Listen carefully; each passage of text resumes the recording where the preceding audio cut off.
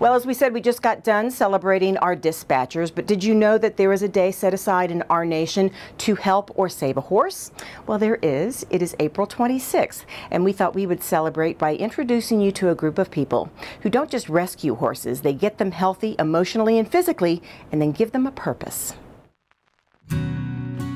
Out here in the great northwest part of Las Vegas, this ranch is home to 20 horses of all breeds and sizes, from huge Belgians, one weighing in at 2,500 pounds, to ponies, and just about everything in between.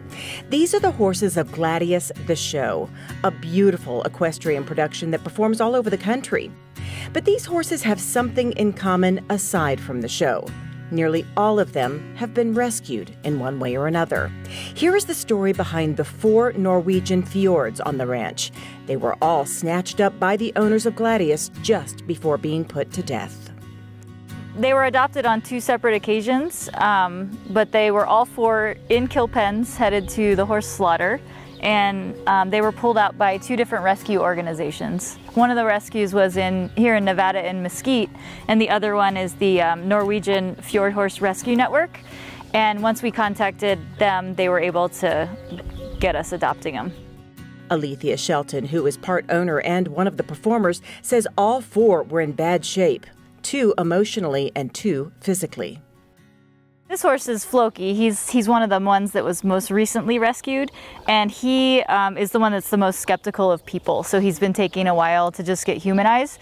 So we spend a lot of time um, just kind of having him in hand and hanging out with him, and I do a lot of work with him on the ground to build uh, some trust so he starts to trust us. Floki was adopted at the same time and basically in the same condition as Thor. They were both like weight wise they looked okay but emotionally they were really distressed. He had his partner for life separated from him so he was very stressed out and had separation anxiety and um, just emotionally they were not in good shape at all Eric Matanovich, the other owner of the show, has been riding horses since he was six years old and says he's never seen horses as emaciated as the other two rescues, Foya and Balder. Um, so yeah, when we got him, he was a skeleton. He, they, I don't know why someone didn't feed him for so long, and but whatever it was, he was completely malnourished.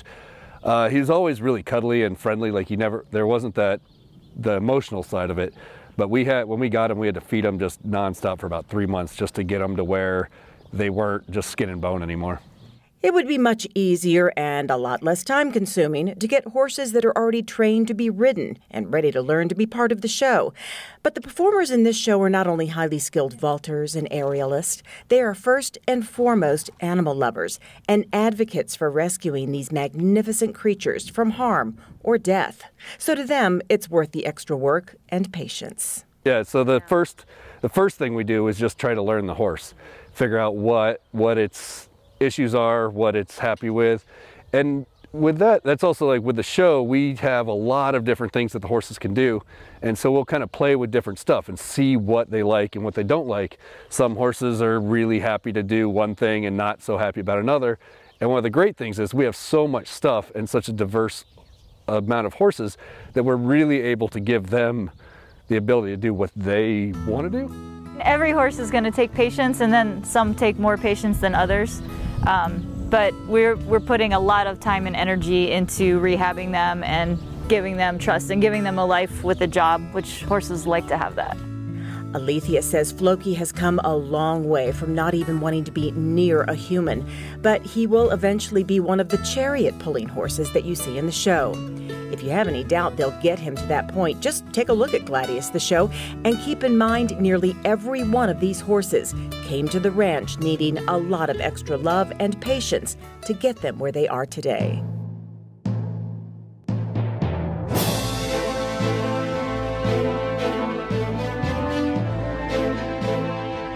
Fortunately, there is no shortage of love or patience in these owners and performers.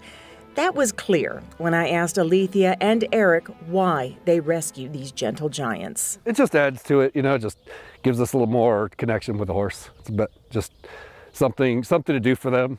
Helps. Are you emotional? Me? Yes. In general? No, no. right now. Yeah. Yeah. oh. Well, we do it for the for the horses. We want to save them. You know, we don't we don't like to see animals suffering, and it's just a win-win situation. When you can pull an animal out of a situation like that, it just makes you feel really good. and they give us lots of love, so.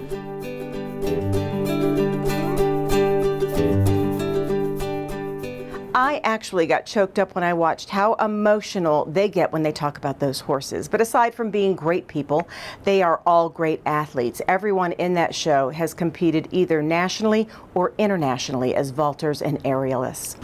You can learn more about all of the horses and find out where Gladius the Show will be performing here and all over the country by going to gladiustheshow.net.